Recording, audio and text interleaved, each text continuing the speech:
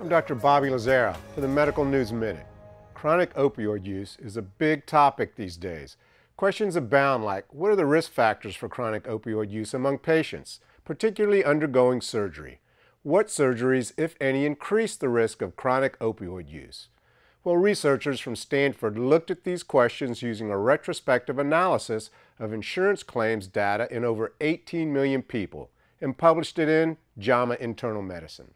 The definition of chronic opioid use 10 or more prescriptions for opioids in the first year post surgery, or more than 120 days supply of an opioid in the first year after surgery.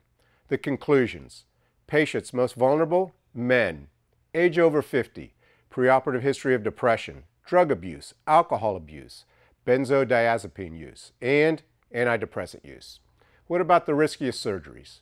Total knees, open gallbladders, simple mastectomies, open appendectomies, lap choles, and C-sections, in that order. The take-home message, monitor your patient's use of opioids post-surgery. Have a preoperative discussion regarding opioid use with patients. Note the risk factors ID'd in this study. Patients at risk, well, they should be offered alternative methods of pain control and perhaps a discussion with a pain management specialist. Why add another problem after a successful surgery? I'm Dr. Bobby Lazzara for the Medical News Minute.